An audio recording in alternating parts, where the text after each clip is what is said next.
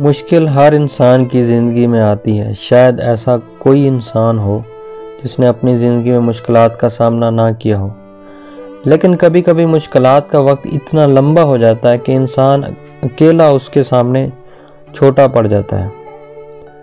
ख़ासकर अगर मुश्किल और मुसीबत के वक्त आपके साथ कोई ना हो तो मज़बूत से मज़बूत इंसान भी काफ़ी बार हार मारने के लिए मजबूर हो जाता है। हर मुसीबत से बचने की उम्मीद, हर किस्म की परेशानी से बचने की उम्मीद आपको इसके बारे में हिम्मत देती है।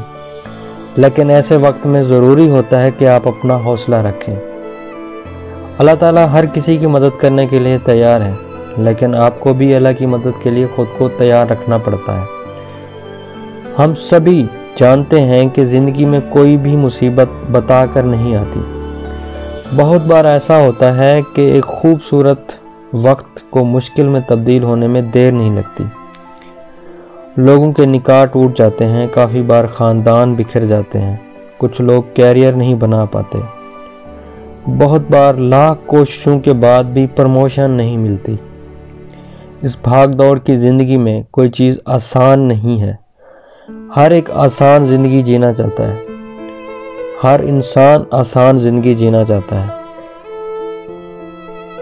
लेकिन घर, कारोबार वाली जगह पे, ऑफ़िस में, माहौल कुछ इस तरह का होता है कि बहुत से लोग अपने आप को मुश्किल से बचा नहीं पाते। लेकिन जिन लोगों को अल्लाह पर ईमान हो, और जो लोग दिल से अल्लाह पर यकीन रखते हैं, अल्लाह की तस्वीर करते हैं, उनकी ज़िंदगी की सबसे बड़ी से बड़ी मुश्किल भी उन्हें इस चीज़ से हिला नहीं पाती। वो लोग आराम से मुसीबतों का सामना करते रहते हैं और उन्हें पता भी नहीं चलता।